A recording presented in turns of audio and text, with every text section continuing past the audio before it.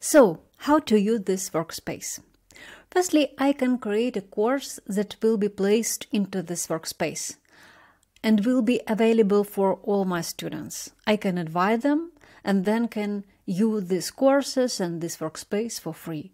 You don't need to pay for students. Then I will create a course.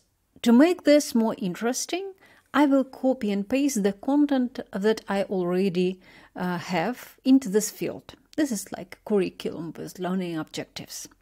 I just click on the generate course plan button and it should provide me with a plan based on this content. Once this task is done, I can delete something. Then I create my course. The course creation is the same as, a, uh, as on the course page. AI collects videos related to this topic, but most importantly, the content of this course will be created from the text that I provided before in the course creation form as a learning objective.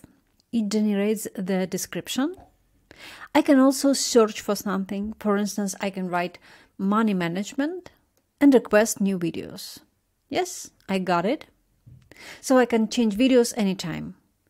I can also make bookmarks, generate a summary that uh, takes the captions of this video as a source.